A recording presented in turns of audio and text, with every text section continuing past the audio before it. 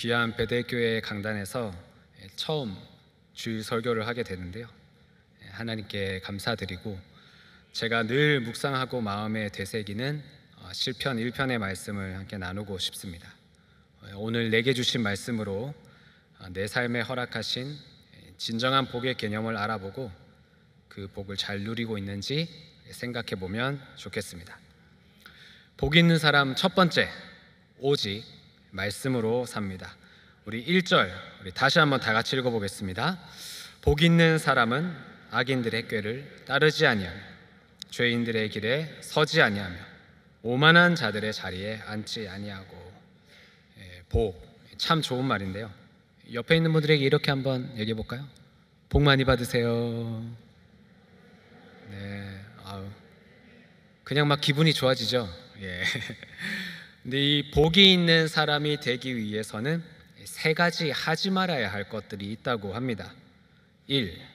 악인들의 꾀를 따르지 않아야 합니다.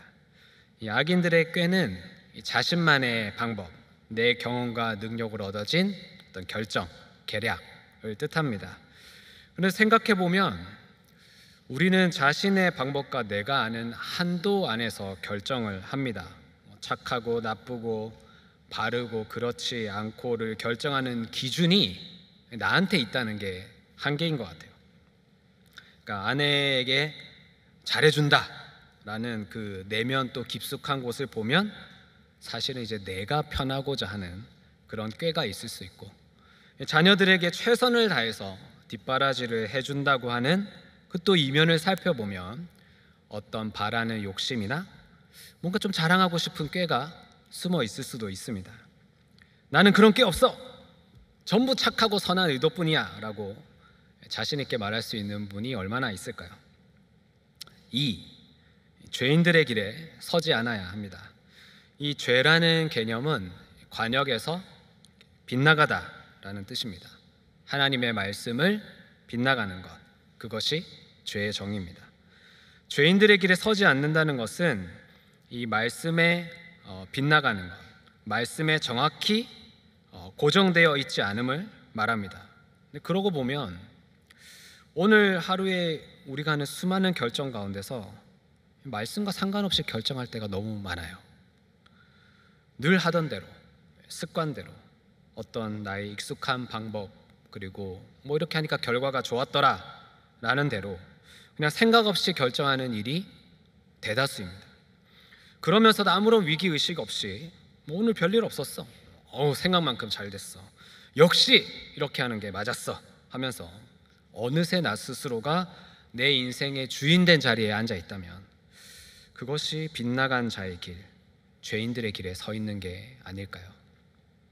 3. 오만한 자들의 자리에 앉지 않아야 합니다. 이 오만하다는 단어는 조롱하고 무시하다라는 뜻을 가지고 있습니다. 예, 지난주에 어, 티와 들보 설교에서 그 부부 사이를 갈라놓는 말이 뭐라고 하셨어요? 기억나세요? 내가 그랬지. 예. 네, 그럴 줄 알았다. 예. 내 말이 틀린 게 있어 없어? 기억나시죠? 그런데 우리가 그렇게 주일 말씀을 듣고 은혜 받고 이번 한 주 동안 어, 이런 말을 하셨어요? 안 하셨어요? 안 하셨어요? 예, 싸우기 싫어서 예, 괜히 긁어봐야 본전도 못 찾으니까 말은 안 하셨지만 그런 생각 하셨어요? 안 하셨어요? 예. 3부는 분위기가 좀 다르네요. 예. 우리는 오만합니다. 예. 누가 나보다 잘나고 드러나는 거 못 봐주고요. 어느 관계에서든 내가 옳음을 직간접적으로 나타내고 싶어 하는 그런 이상한 습성이 있습니다. 근데 이렇게 생각하니 큰 문제가 생겼어요. 복 있는 사람이라고 해서 막 좋았는데 1절에서부터 어, 막혀버렸습니다. 우리는 기회만 되면 악한 깨를 따르고 가만히 놔두면 죄인의 길에 서고 관계에 있어서는 어느새 오만한 자들의 자리에 앉아버리니까 이게 큰일 났어요. 예, 그래서 우리가 다 같이 2절을 함께 읽겠습니다. 오직 여호와의 율법을 즐거워하여 그의 율법을 주야로 묵상하는도다. 이 오직이라는 말로 2절이 시작하는데 근데 이 앞에 1절이랑 잘 생각해 보면 이 말에 좀 모순이 있습니다. 1절에는 이 세 가지를 하지 않아야 복 있는 사람이라고 시작을 했는데 2절을 보니까 이 세 가지를 하지 않는 것이 복이 있는 것이 아니라 오직 예, 이것밖에 없다. 오직 이 방법뿐이다. 이렇게 말을 하고 있어요. 여기서 쓰인 이 오직의 히브리 원어적인 의미를 살펴보면 여러 가지 의미가 있는데 오 저런 이란 이렇게 감탄사도 되고 그럼에도 불구하고 이런 뜻도 가지고 있습니다. 그런 의미라면 이렇게 해석할 수 있을 것 같아요. 예, 내가 말씀 앞에서 내, 내 삶을 돌아보니까 아 악인의 길을 따르고 죄인의 길에 서고 오만한 자의 자리에 앉아 있음을 이렇게 처절하게 깨달았어요. 예, 이제 어찌할 수 없는 죄인으로서의 통탄이 터져 나오는 겁니다. 오 저런 나는 어쩔 수 없는 죄인이구나. 나는 스스로는 절대 복 있는 사람이 될 수 없구나. 그런데 방법이 하나 있대요. 무엇입니까? 오직 여호와의 율법을 즐거워하는 것. 그래서 그 하나님의 율법을 주야로 묵상하는 바로 그것입니다.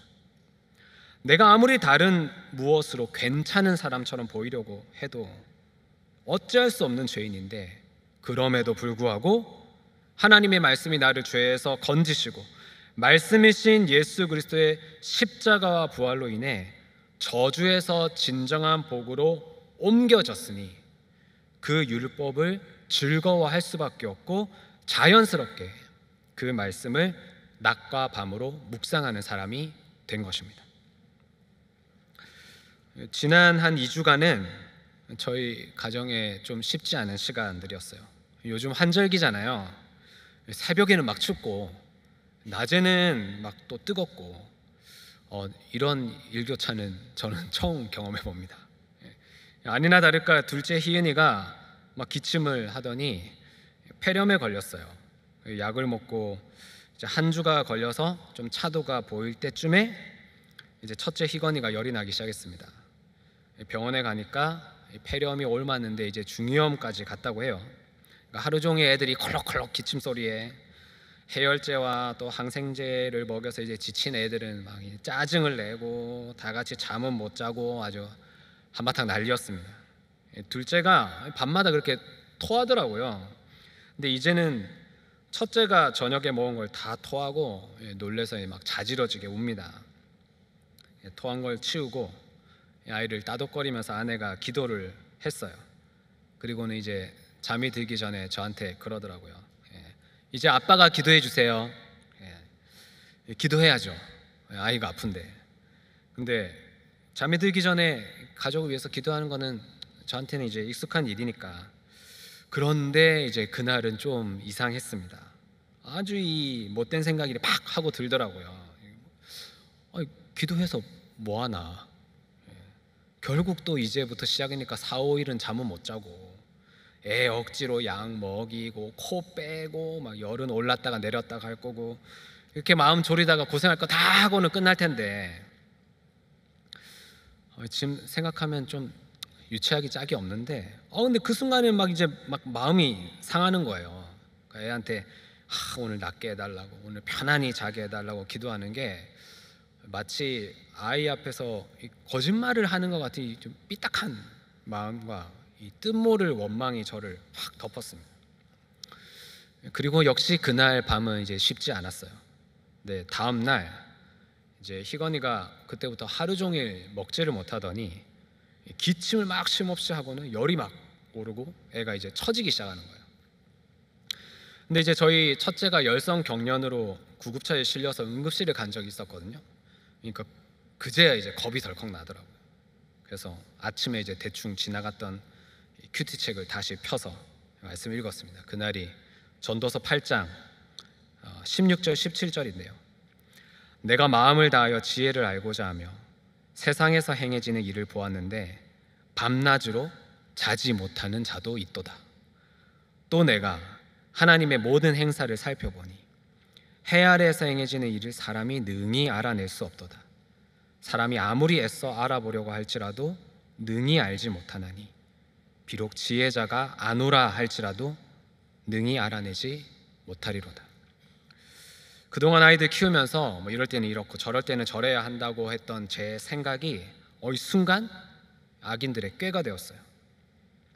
말씀 없이 은혜도 없이 아무런 고민도 없이 그냥 지금 피곤하고 짜증이 나니까 그게 저도 모르는 사이에 죄인들의 길에 서 있었고 기도는 해서 뭐하냐는 이 오만함으로 그 자리에서 입술만 움직이는 기도를 했습니다. 하나님의 뜻을 능히 알지 못하는 자가 밤낮으로 자지 못하는 것이 어쩌면 당연한 결과인지도 모릅니다. 또 그날 본문 전도서 8장 13절입니다. 악인은 잘 되지 못하며 장수하지 못하고 그날이 그림자와 같으니니 이는 하나님을 경외하지 아니함이라. 아, 내가 하나님을 경외하지 않았구나. 아이들이 이렇게 고생하며 아파야 그제야 깨닫고 회개를 하는구나.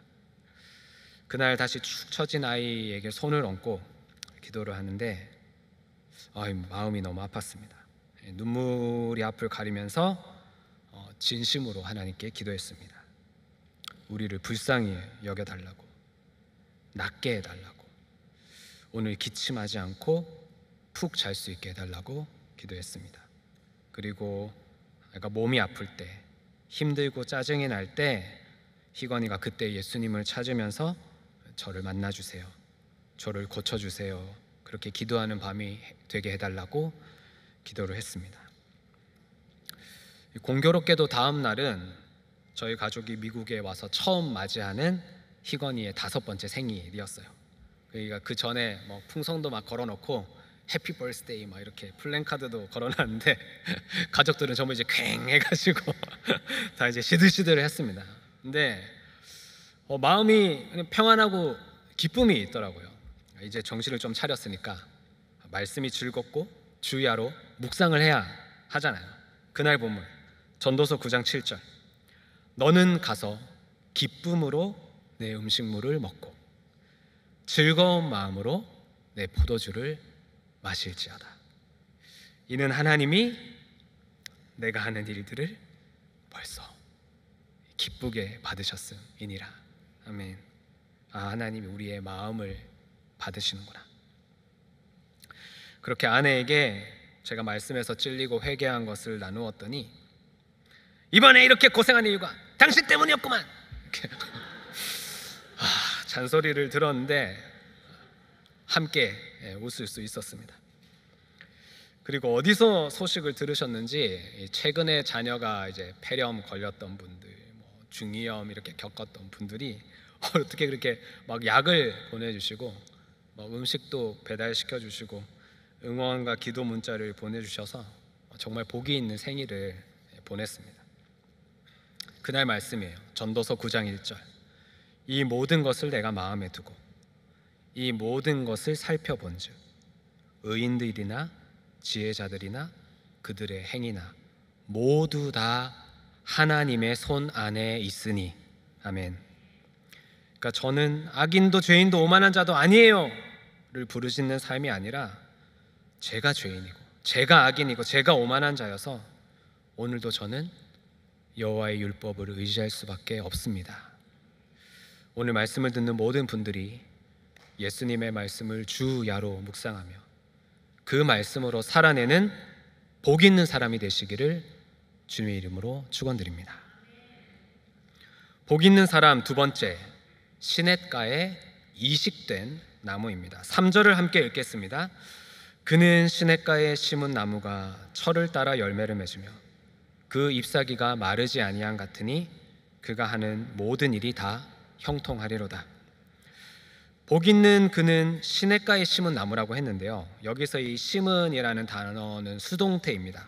그러니까 나무가 내가 이 시냇가를 원해서 자리를 잡은 게 아니라 나무를 심어준 어떤 존재로 인해서 옮겨 심어졌는데 즉 이식이 되었는데 그 자리가 바로 예, 시냇가라는 말입니다. 이 복이 있다라는 의미를 정의하기 위해서는 그 복이 어디에서 오는지에 대한 정확한 이해가 있어야 하는 것 같아요. 우리는 복이 있을 수 없는 존재거든요. 그러니까 죄인이라는 것은 1% 죄인과 99%의 죄인으로 나눠지지 않습니다. 저와 여러분은 모두 100% 죄인입니다. 누가 더 착하고 누가 더 바르고 누가 더 남에게 피해를 끼치지 않고 잘 살았냐 그게 다 상대적입니다. 하나님 앞에 내가 서는 순간 남과 비교해서 아유 내가 그래도 저 사람보단 좀 나았죠 좀 못했나요? 이게 하나님 앞에서는 아무 의미가 없습니다. 모두 다 그러니까 아니 굳이 모두라는 표현을 쓸 필요도 없이 그냥 나 스스로가 그 하나님의 거룩 앞에 서면 내가 악인의 깨와 죄인의 길과 오만한 자리에 있었던 것이 너무나 두려워서 두 발로 서 있을 수조차 없는 존재가 되는 것이죠. 그런데 복의 근원인 하나님께서 놀라운 일을 하셨어요. 이 말라 비틀어져 죽을 나무를 생명이 있는 시냇가로 옮겨 심으신 겁니다.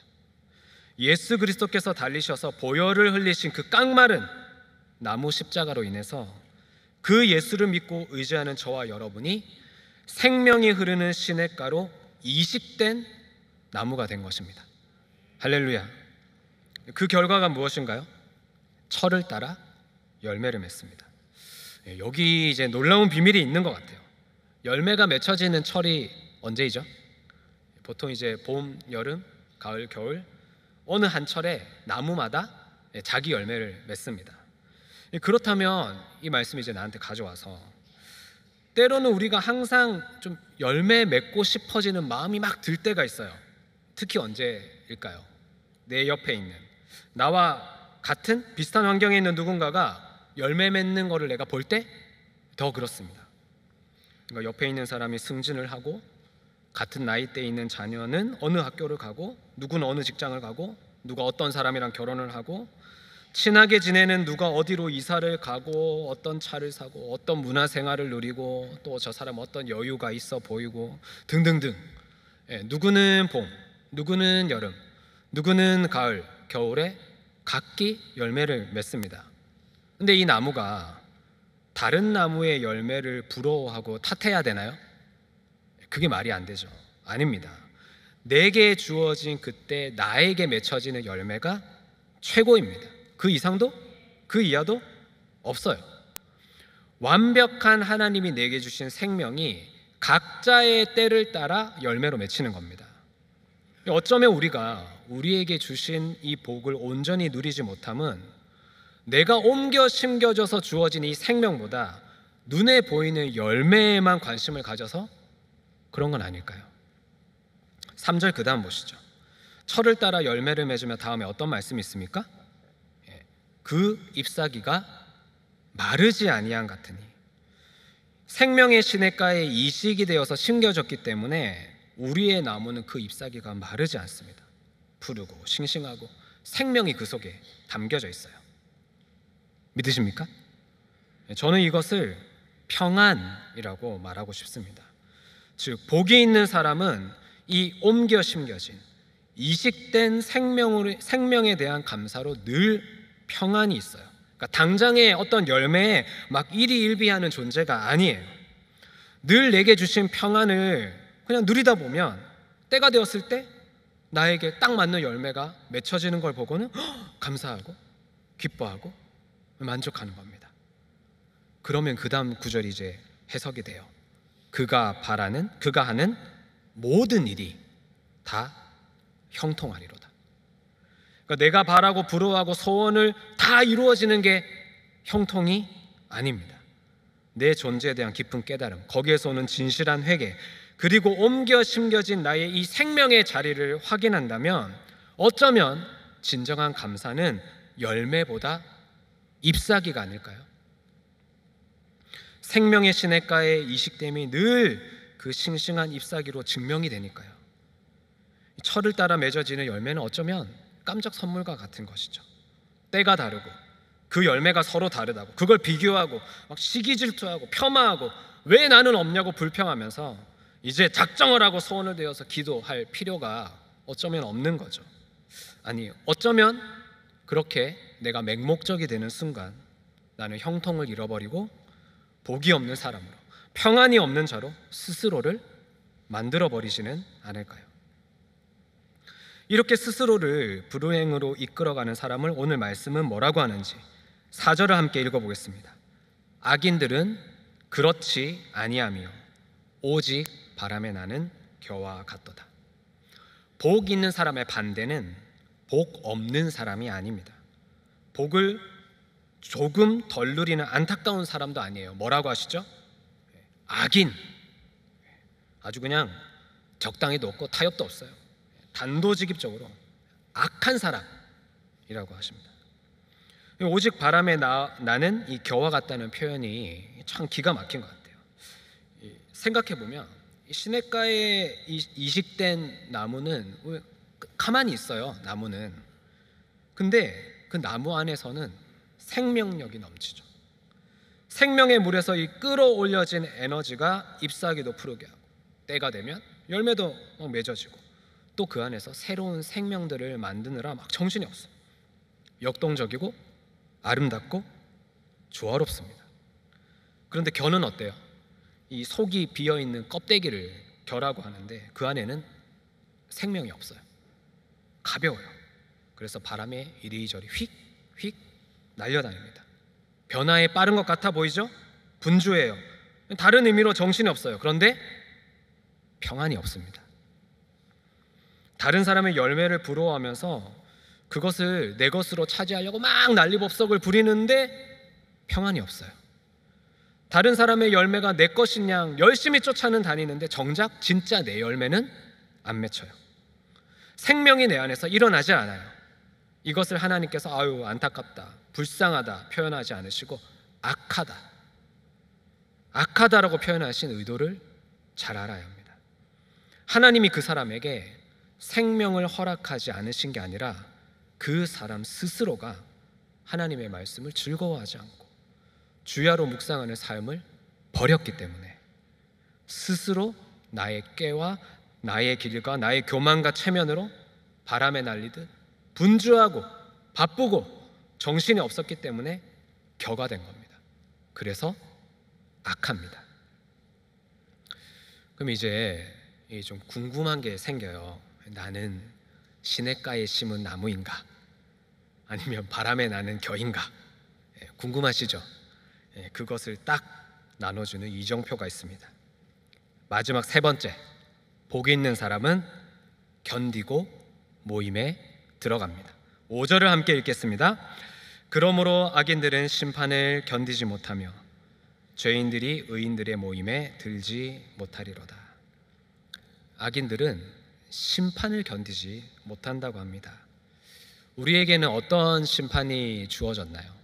시편 1편 전체적인 맥락으로 볼 때 먼저는 율법이 우리에게 주는 심판이 있습니다. 하나님의 말씀은 100% 죄인인 우리에게 주신 복된 소식입니다. 구원의 소식이에요. 그런데 죄인은 사실 복음을 듣기 싫어합니다. 왜 나만 조용히 알고 있으면 되는데 그 자꾸 찌르냐고 죄책감이 들게 하고 자꾸 들춰내냐고 합니다. 그리고 율법이 자꾸 우리에게 그거 아니야, 그거 죄야, 그거 잘못했어라고 하는 정죄를 인정하기가 싫어해요. 빙빙 둘러대면서 그래도 내가 괜찮은 사람이라고 또 내가 어느 분야에서 뭐 좀 잘하는 게 있으면 그것만 열심히 보여줘서 괜찮은 사람인 것처럼 하는 것이 딱 죄인의 단면입니다. 그래서 말씀도 예, 듣기 좋고 나한테 위로가 되는 말씀만 막 골라서 들어요. 근데 말씀을 이렇게 내가 중심이 돼서 말씀을 골라서 듣기 시작하면 이게 해결이 안 되는 문제가 생기는데요. 바로 내 삶에 일어나는 심판과도 같은 사건이 있으면 이게 이해도 안 되고 인정이 안 됩니다. 저 같은 경우는 아, 왜 우리 가정이 아버지의 외도로 이혼을 하게 되고 어, 아버지와 어머니의 하시던 사업들이 다 망하면서 급기야 아버지가 이제 제 명의를 몰래 갖다 쓰셔서 20대 초반의 나이에 큰 빚을 진 신용불량자가 되었는지 어 이 도저히 이해할 수가 없는 거예요. 아버지가 악인, 나는 의인이라고만 생각을 하니까 어, 이 심판가도 같은 사건을 도대체 제가 견디지를 못하겠는 거죠. 또 있습니다. 심판을 견디지 못하는 것과 또 무엇인가요? 죄인들이 의인들의 모임에 들지 못하는 것입니다. 어떤 말씀이든 내게 주시는 말씀이 즐겁고 그 말씀으로 낮과 밤을 묵상하며 살아가는 우리 성도님들이 계시고 시냇가에 이식된 평안함을 누리면서 철을 따라 열매를 맺는 분들도 있고 더 나아가서 나에게 오는 심판과도 같은 사건을 견디고 예, 나의 오름이 아니라 하나님의 오르심을 인정하면서 또 다시 말씀으로 내 삶을 해석, 해석해내는 그 복이 있는 자들의 모임 안에 들어가기가 싫어요. 왜냐하면 내가 그 인정을 해야 되니까 들어가는 순간. 예. 저도 그랬습니다. 교회에서 일을 많이 하고 막 섬기고 봉사도 많이 했어요. 근데 생각해 보면 말씀과 공동체를 신뢰해서 그 안에 쑥 들어간 건 아니었어요. 일을 했지. 그러니까 말씀이 들어오면 어떤 내 이야기도 공동체 안에서 나누고 심판과도 같은 일도 나누고 일상의 그 평안을 누리고 어느 땐가 누가 열매가 맺어지면 같이 기뻐해주고 감사하고 이러면서 그렇게 기쁨과 즐거움을 나눠야 되는데 교회에서 무언가는 하는데 늘 분주하고 왜 내가 여기서 뭔가 경쟁을 하는 것 같고 말이죠. 나도 모르게 세운 예, 목표와 만족을 위해서 교회 안에서도 막 달리기만 한 것 같았습니다. 근데 그러다가 또 내가 어, 교회 안에서 어떤 내가 생각지도 못한 문제가 생기거나 이해할 수 없는 사건들이 찾아오면 그러는 거죠. 교회를 옮겨야 되나? 새로운 무언가를 시작을 해야 되나? 아니면 뭔가 좀 직접적이고 자극적인 신앙생활의 패턴으로 바꿔봐야 하나? 아니면 누가 나한테 지금 부정타기 했지? 이런 이제 말도 안 되는 예, 출처도 없고 정처도 없는 고민과 회의감만이 늘었습니다. 근데 이제 제가 잘한 게 있는데 아무리 시험에 들고 무기력해져도 교회를 떠난 적이 한 번도 없었어요. 그러니까 늘 말씀과 공동체에 뭐 어떻게든 막 억지로 붙어 있다 보니까 이 때가 되어서 말씀 그 자체가 제 삶을 이렇게 관통하듯이 임하는 때가 있고 어, 그 말씀이 오늘 와 진짜 그냥 나를 세워놓고 하시는 말씀이구나라는 게 느껴지는 때가 있었습니다. 근데 그러니까 삶이 아주 단순해졌어요. 주일에 전해주시는 설교 말씀 하나, 그리고 매일매일 큐티 말씀 하나. 끝. It's so simple. 그러니까 우리가 매주마다 목사님의 이 시리즈 설교를 성경 순서대로 이렇게 쭉 듣고 한 주를 살아가잖아요. 그리고 매일 아침마다 영상 메시지를 들으면서 내게 주신 그 성경 말씀을 빠짐없이 차례차례 묵상하며 가는 것이 얼마나 큰 복인 줄을 믿으십니까? 예. 저는 정말 그렇습니다. 믿어요. 그렇게 저는 10년을 주일 말씀, 큐티 말씀 이 두 줄기를 생명수 같이 여기면서 살았고 여기까지 왔습니다. 올해 초에 아버지의 장례를 치르고 미국에 오게 됐는데요. 저에게는 이 땅에서 통과해야 할 가장 큰 산이자 이 심판과 같은 존재는 결국 아버지였어요. 아버지가 막 부자가 되시고 막 세상에서 잘 나가실 때는 어, 막 너무 눌리는데 막 부담 거예요. 예. 그리고 아버지가 망하고 저를 이제 신용불량자까지 만드셨을 때는 막 너무 무시가 되고 막 분한 거예요. 예. 그동안 얼마나 많은 일들이 있었겠어요. 하지만 이 아버지를 대하면서 오르락 내리락 늘 바람에 나는 겨와 같은 제 모습을 말씀을 통해서 이렇게 딱 깨닫게 되니까 먼저는 어, 내가 시냇가에 옮겨 심겨진 이식된 이 평안이 있는데 어, 그러고 나니까 제가 아버지를 뭐 이렇게 더 낫다, 뭐 덜하다 이렇게 판단하는 존재가 아니라 어, 그냥 이 생명의 시냇가에 우리 아버지도 옮겨 심겨져야겠는데라는 사명이 생겼어요. 그러니까 그 전에도 전도는 했거든요. 근데 그게 이제 내 열심이나 내가 먼저 예수님 믿었으니까 나는 아버지처럼 안 살았으니까 나의 의로움으로 아버지를 막 전도하고자 할 때는 또 아버지의 모습을 보면 오르락 내리락 하고 막 분해 죽고 막 마음을 다스릴 수가 없었는데 근데 저는 심플해졌잖아요. 주일 말씀 듣고 하루하루 그냥 큐티하고 또 셀 목장 가면 그냥 솔직하게 나누면서 기도 부탁을 했어요. 그러니까 목사로서가 아니라 구원받아야 할 가족이 있는 성도로서 신앙생활을 했습니다. 오늘 말씀에서 이렇게 깨닫게 하시면 뭐 이렇게 해야지. 뭐 아버지한테 전화해야지. 오늘 또 설교 들었는데 이런 마음에 감동이 있으면 우리 셀 목장 가서 나누고 뭐 찾아가야지. 뭐 어떻게 해야지. 오 너무 편한 거예요. 네. 내가 하는 게 아니어서 너무 편한 거예요. 아니 이렇게 쉬운 걸 예전에는 왜 그렇게 내가 잔뜩 힘을 주고 인생을 어렵게 살았나 싶더라고요. 하나님께 아버지의 구원을 온전히 맡긴과 동시에 그냥 손 놓고 사는 게 아니라 칼날에 서 있는 물방울처럼 그 구원의 때를 놓치면 안 되니까 늘 주일 설교와 큐티 말씀에 나를 세워서 지냈습니다. 그러니까 아버지가 돈과 건강을 잃으신 후에 이렇게 스스로 교회에 나가기도 하시고 저와 이제 뜨거운 눈물의 화해도 하시고 용서도 막 구하시고 뭐 여러 가지 사건들이 지난 몇 년간 지나갔습니다. 그리고 바로 정, 작년 연말인 12월 29일 기억하실지는 모르겠지만 우리 모두가 그때 큐티인으로 디모데후서 말씀을 묵상하고 있을 때 아버지가 위독하시다는 연락을 받았습니다. 파킨슨이 오셔서 한 7, 8년을 버티셨는데 이제는 한계가 오신 것 같다고 했습니다. 그날 말씀이 디모데후서 3장 14절 15절입니다. 그러나 너는 배우고 확신한 일에 거하라. 나는 네가 누구에게서 배운 것을 알며 또 어려서부터 성경을 알았나니 성경은 능히 너로 하여금 그리스도 예수 안에 있는 믿음으로 말미암아 구원에 이르는 지혜가 있게 하느니라. 아버지의 구원의 때를 놓치지 않게 달라고 늘 기도를 했는데 오늘 말씀을 그때 말씀을 보니까 딱 느낌이 왔어요. 그리고 그 다음 날 큐티 본문인 디모데후서 4장 2절 말씀. 너는 말씀을 전파하라. 때를 얻든지 못 얻든지 항상 힘쓰라. 왔구나. 그래서 아내랑 바로 상의를 하고 짐을 싸서 온 가족이 함께 그날 부산으로 내려갔습니다. 다음 날인 목요일 아침 아버지가 계신 요양병원에 갔습니다. 그때 한참 이제 한국이 코로나가 막 퍼질 때라 면회가 제한됐고 이미 가족 두 명이 왔다 갔기 때문에 더 이상은 불가능하다고 했어요. 하지만 제가 그 말씀이 너는 말씀을 전파하라. 때를 얻든지 못 얻든지 때를 얻든지 못 얻든지 계속 중얼중얼하면서 막 사정을 하고 기다리면서 방법을 구했습니다.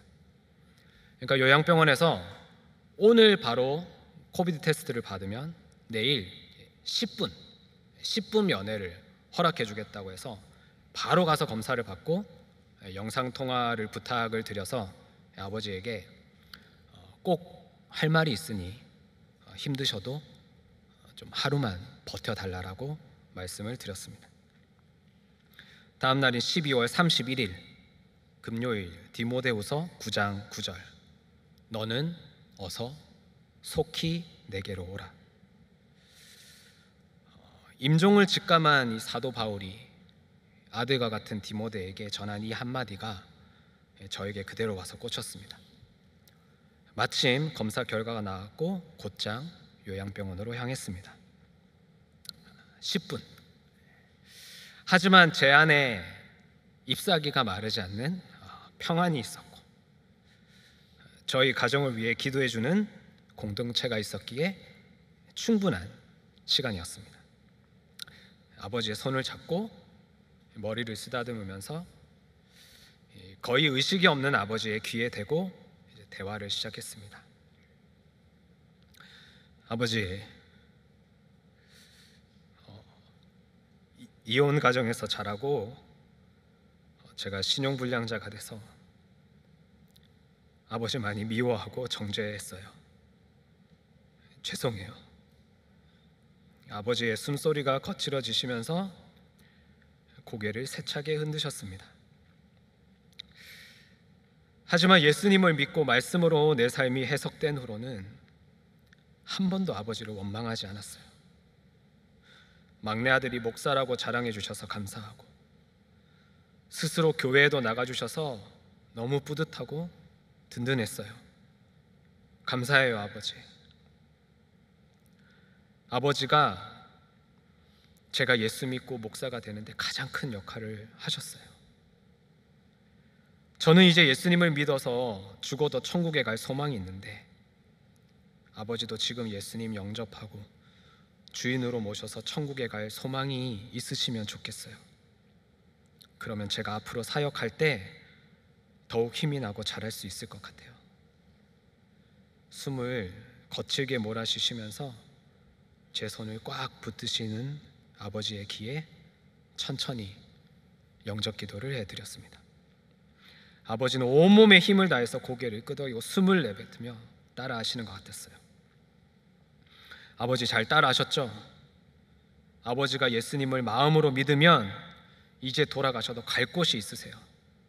하나님이 아버지를 부르실 때까지 이제 예수님 이름으로 기도하시면 돼요.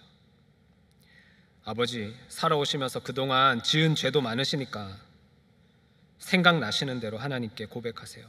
그리고 마지막에 예수님 이름으로 기도합니다. 아멘 하시면 돼요. 아시겠죠? 이렇게 기도를 가르쳐 드리고 어머니에게 전화를 했습니다.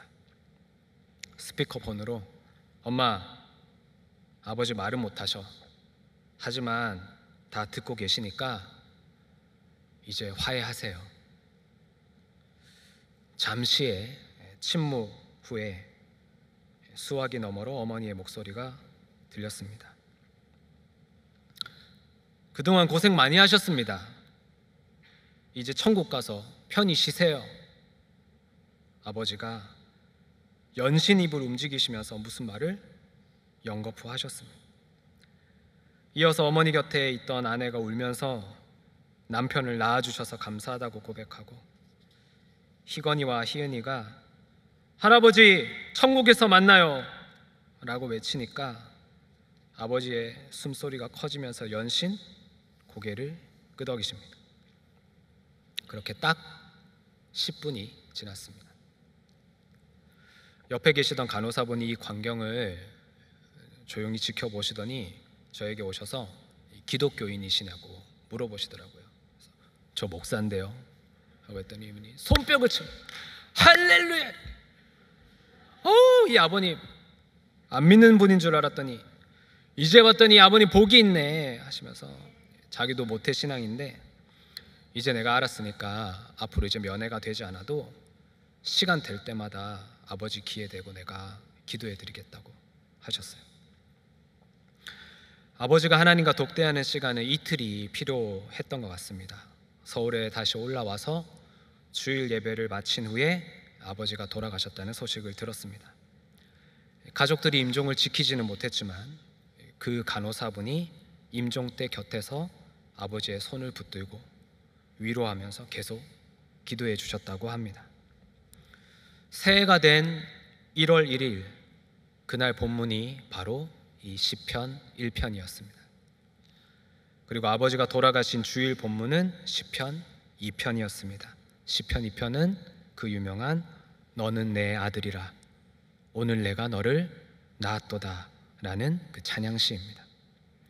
하나님이 아버지를 내 아들이라 불러 주시는가 기대하는 마음으로 다시 부산으로 내려가서 장례를 치렀습니다.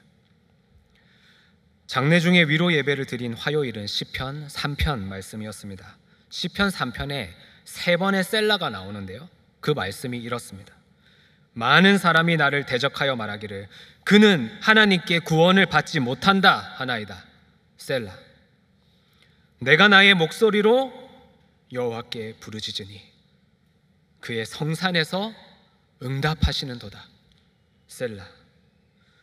구원은 여호와께 있사오니 주의 복을 주의 백성에게 내리소서.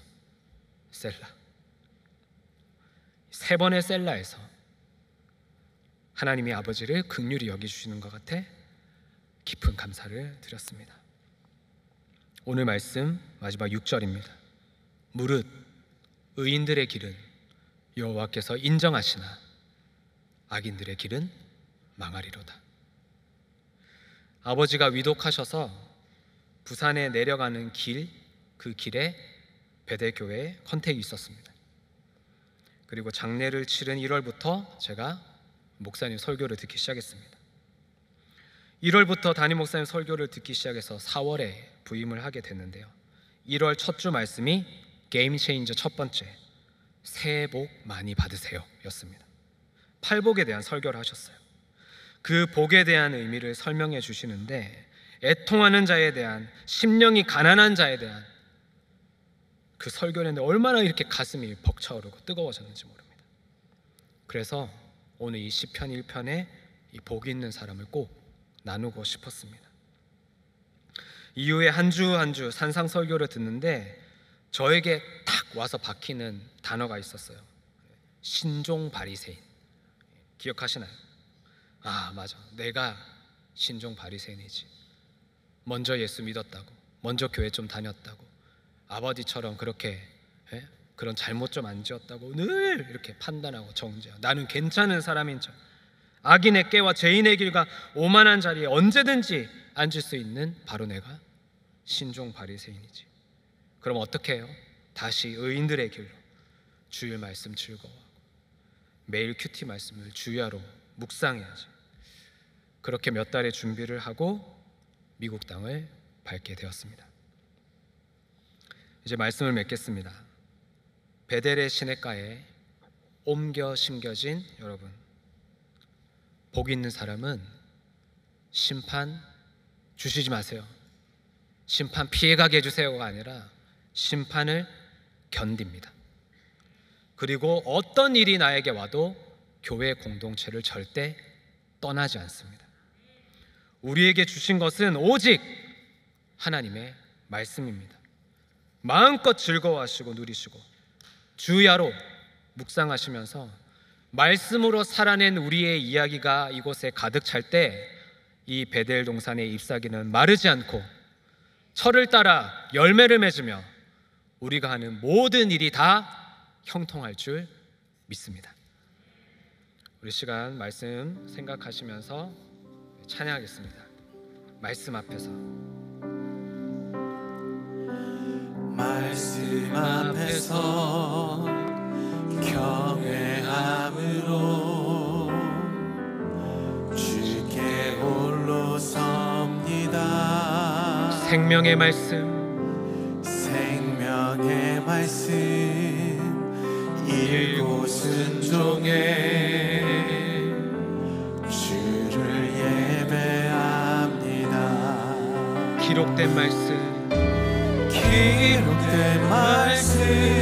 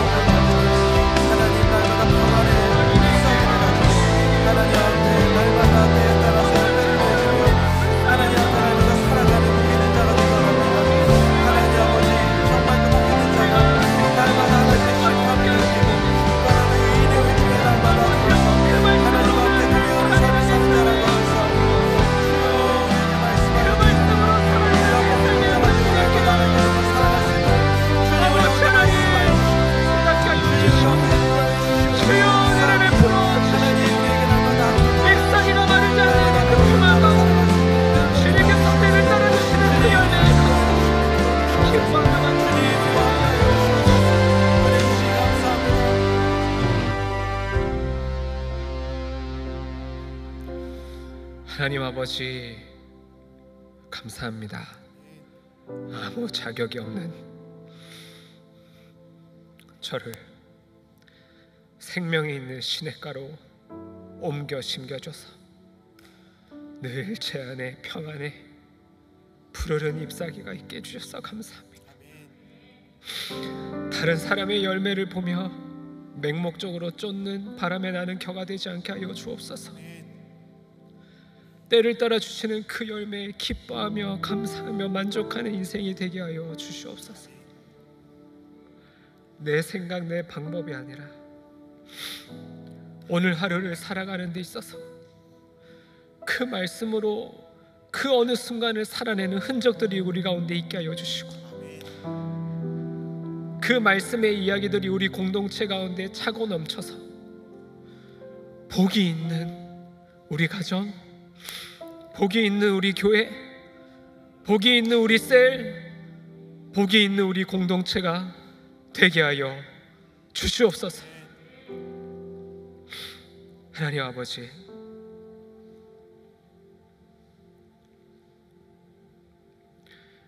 그 말씀으로 사랑하기가 참 힘든 우리입니다. 분주하고 바쁩니다.